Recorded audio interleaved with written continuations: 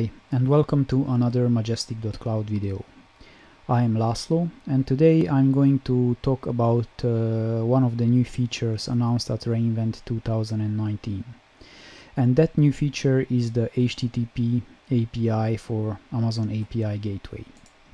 So in this video today uh, I will tell you what this HTTP API is and what are the use cases and the benefits and I will also um, set up um, standard API which we had before in the API gateway and uh, HTTP API uh, that was just announced. And I will do this via the AWS SAM tool.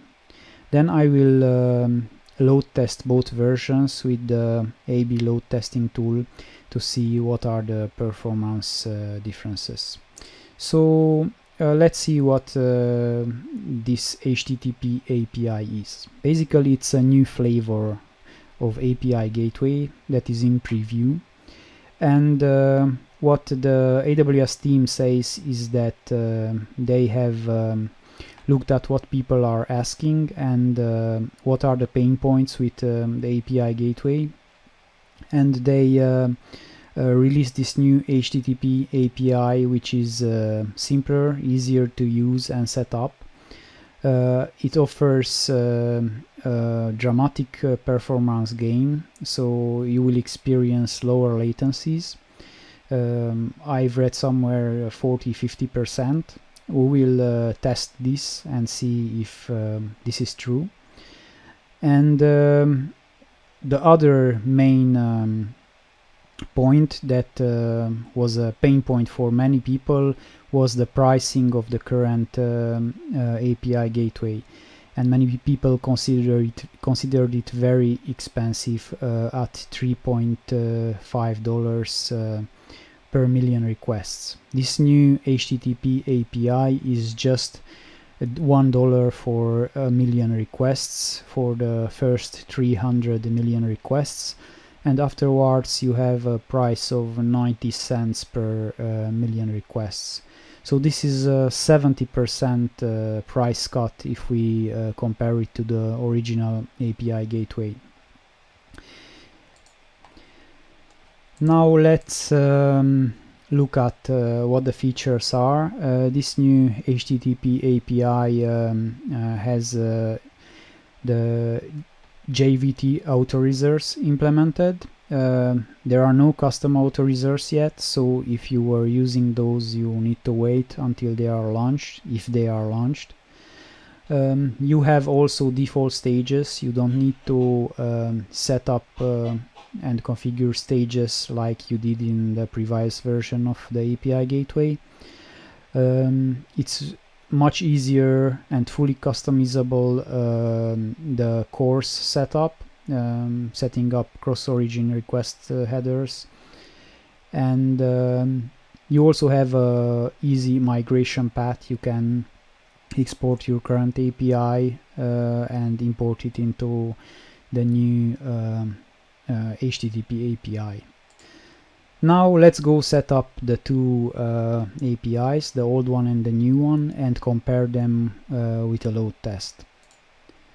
I have already um, created a SAM project for this um, and we'll take a look at the uh, SAM template I have here. So in this template I have two uh, Lambda functions each with um, API endpoint at attached to it. So the first function is the standard API function and it has this uh, event source which is a standard API uh, gateway and uh, the endpoint try me here uh, we will use um, the testing tool on this one and then I have an HTTP um, API um, basically this is the function and the HTTP API is uh, configured here. So the only difference uh, in setting up uh, these two uh, API flavors is this uh, type thing uh, which we have in um, the SAM template. So for standard REST APIs, the ones that we had before, this is the correct way of setting them up. Type equals API and um, for the new HTTP API the type is HTTP API so the lambda functions that we have here is uh, they are the same. Um, it's the standard uh, template that um, um, AWS SAM generates when you initiate a pro project. So it's just a simple hello world. So for both functions it's exactly the same uh, code so let's close these. And um, the only thing we need to do is to deploy this. And we will get two endpoints and uh, we will test those. So let's do that. I have opened my terminal and I'm going to do a, a SAM deploy guided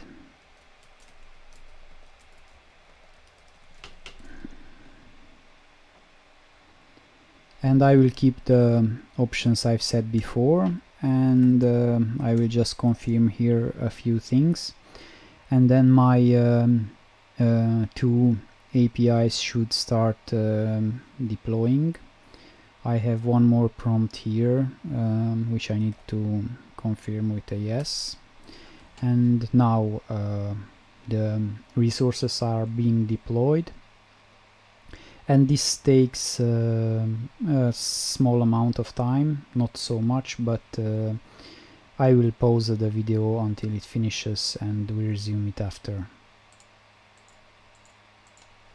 Okay so my uh, stack finished um, deploying. Let's go to the console and uh, look at what uh, got deployed.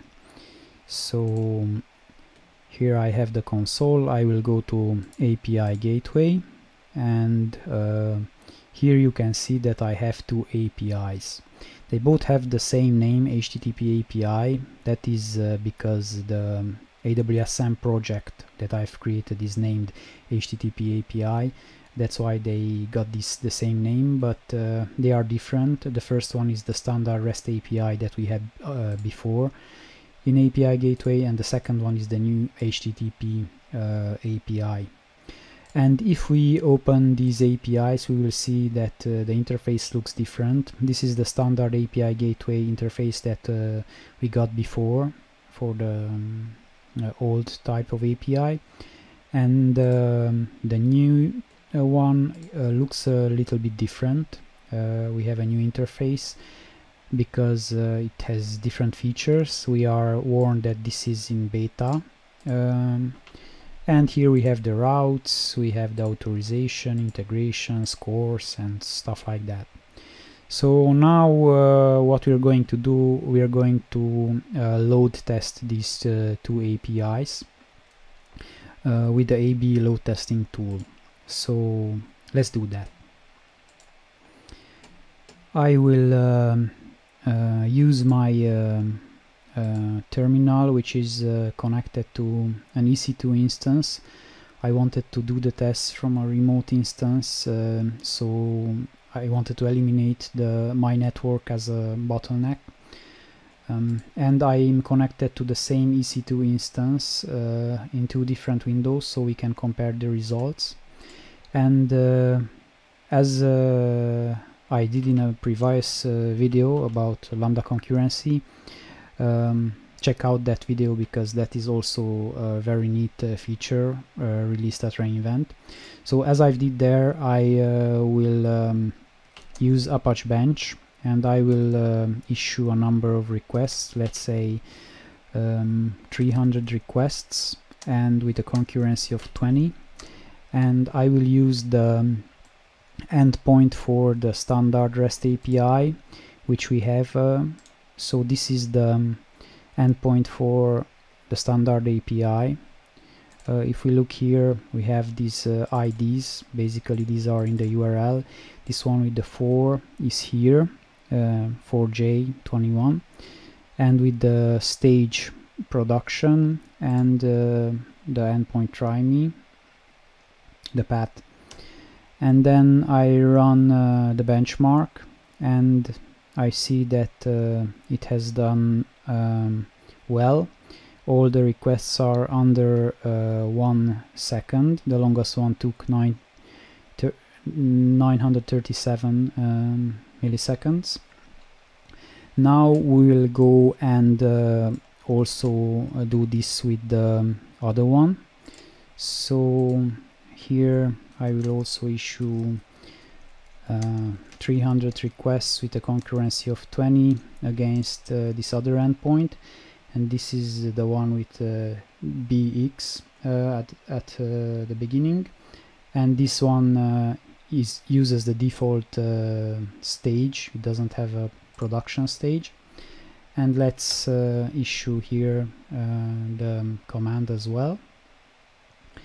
And now let's compare the results. So um, the results are uh, almost the same but um, we have a few differences. So here the longest request uh, was um, 675 um, milliseconds. And um, yeah we could say that's uh, 30 30 40 percent uh, improvement over the other one um, still the other numbers are a bit higher than um, for uh, the original version now what I want to do is uh, repeat the tests, but this time I will do it from my uh, uh, home network, so using my local machine. And uh, let's see if the results are different. So let's open the two, two windows and I will do the same thing here. I will um, issue AB um, 300 requests with a concurrency of 20 and uh, this one is the um, old style REST API let's do the test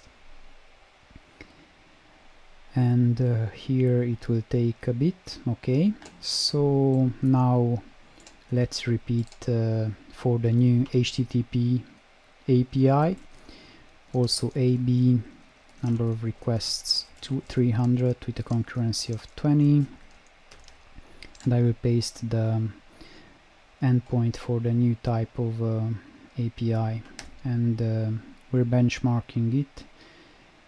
And here we also have um, similar results. But if we look at the numbers we can see that uh, here for example 98% of the requests finished in uh, around uh, almost 400 uh, milliseconds while on the original um, API they they um, took double. So yeah I think um, the numbers are better for for the new HTTP API uh, and it's not even that relevant even if the um, performance was not uh, better uh, the new uh, pricing definitely makes it um, a worthwhile upgrade for anyone uh, using the features that uh, the new HTTP API permits. So I guess this was the video for today. Uh, I hope you liked it. If you did, uh, click on the like button, subscribe to the channel, follow us on social media, on Twitter or Facebook and I hope to see you in a future video about uh, AWS and cloud computing. Have a nice day.